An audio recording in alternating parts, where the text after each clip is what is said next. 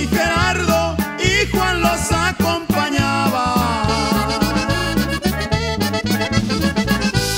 No más cruzando Coyuca, un gran retén esperaba. Cuando miraron la bronco, se escucharon las descargas, rugieron 10 R15 y varios cuernos cantaban.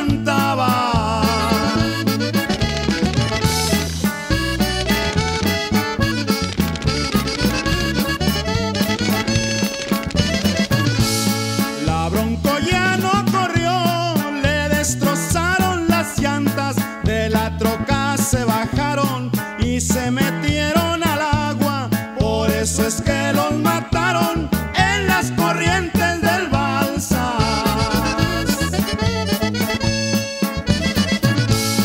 Nunca llegó hasta la procu aquella carga mentada.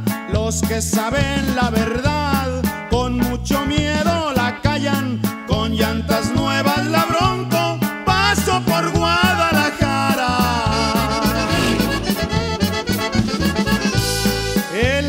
se puso roja por los cuatro que murieron. Dicen que un ex comandante murió de infarto en Laredo.